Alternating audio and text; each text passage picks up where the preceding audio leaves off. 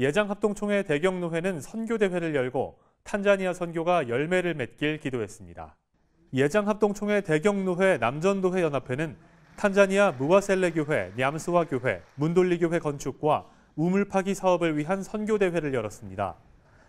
대경노회 남전도회 연합회 최종남 회장은 이번 선교 대회가 선교 사명을 깨닫고 하나님이 우리와 함께 하심을 느끼는 시간이 될 것이라고 전했습니다.